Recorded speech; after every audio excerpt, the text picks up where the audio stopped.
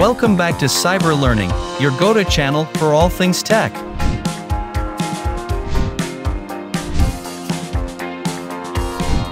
Today we will show you how to use OneDrive account.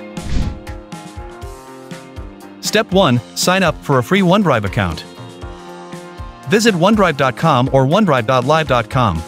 Click on the Sign Up or Sign Up button. Enter your email address and create a password. Complete any additional questions to set up your account. Step 2. Explore your OneDrive account. After signing up, you may be taken directly to OneDrive or your Microsoft account dashboard.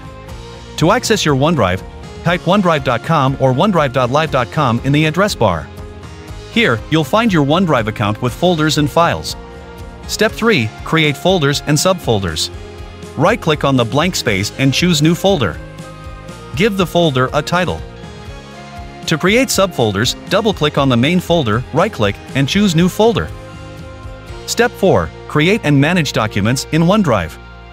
Right-click on the blank space, select New, and choose from Word, Excel, PowerPoint, OneNote, Excel Survey, or plain text documents. Create and edit documents directly in the cloud without installing Microsoft Office. To upload files from your computer, click Files, then Upload. Select the file or folder you want to upload, and it will be available on all devices once synced. Step 5. Sync OneDrive to your computer.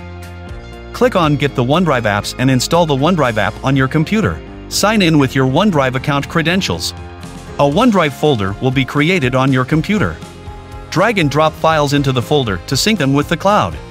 Access your synced files on any device with internet access. Stay tuned for more tech tutorials and tips on cyber learning. Don't forget to like, comment, and subscribe for more awesome content.